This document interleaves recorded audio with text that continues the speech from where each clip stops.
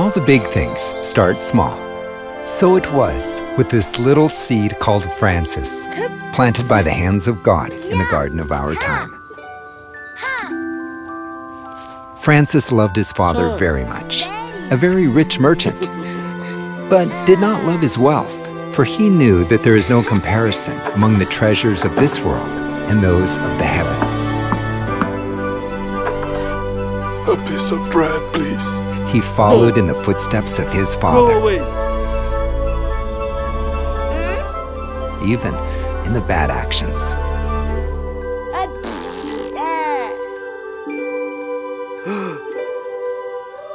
However, Francis was very kind and had a virtuous mother, Mrs. Pica, who was a pious and God-fearing woman.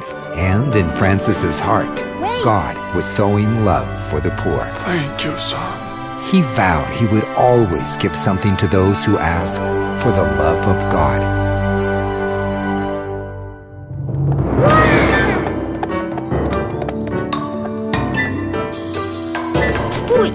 Little by little, Francis gave in to the bad examples and customs of that age. But an event changed his life and our history.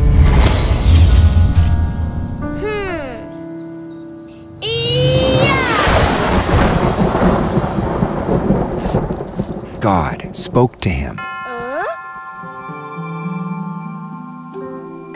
Who can do the most for you? The Lord or the slave? The Lord. So why do you turn away from God and follow the slave?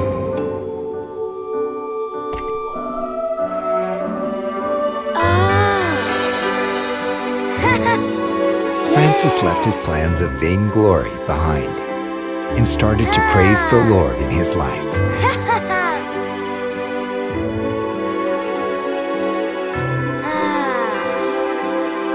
He read the Gospels and was marveled with the deeds of Christ and his apostles. Each day, his love for God and the church, mystical body of Christ, grew inside him. One day, Francis met a sick man, a leper, and he carried a terrifying fear of the lepers. He felt like running,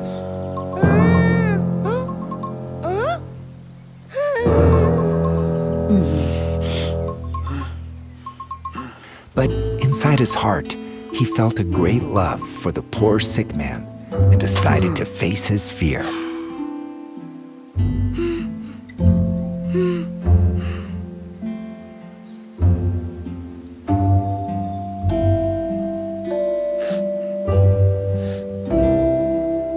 With the grace of God and willpower, he went to find the poor man.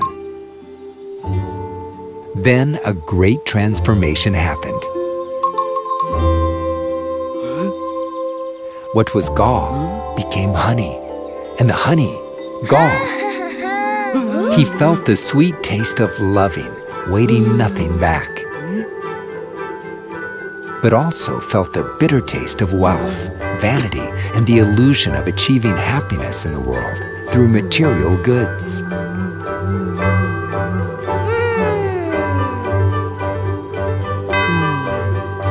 In one of his walks, he found a church in ruins and spent a lot of time praying there.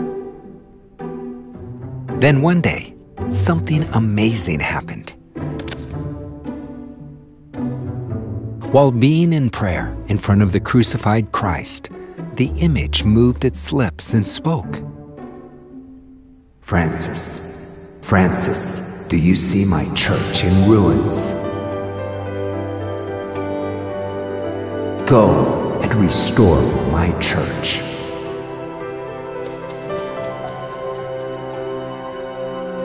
Francis quickly ran to his father's store and got money to restore that church.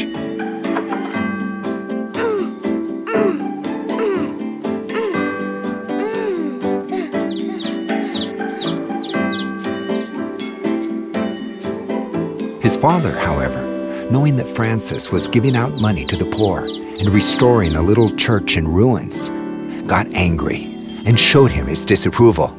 He did not understand the greatness in his son's heart, who tried to be totally obedient to God. Ah. Oh, you little. How many times I have to tell you? Francis, full of peace and joy, surprised his father, giving him back all his belongings.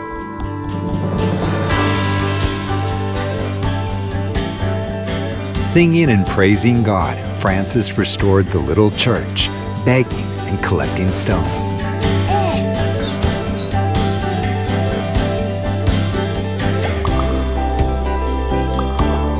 Just then, he realized that we are the living stones in the Church of Christ, and we were the ones that needed to be restored and get back into the life of holiness.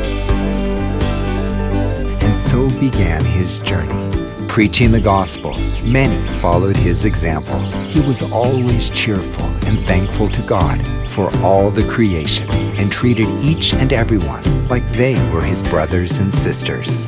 Since he was a little boy, St. Francis was aware God's love was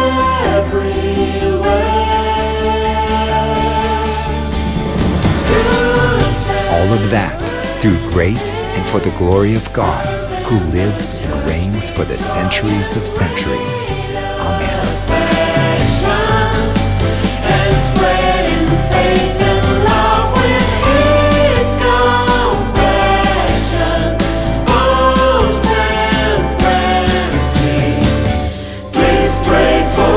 St. Francis of Assisi, pray for us.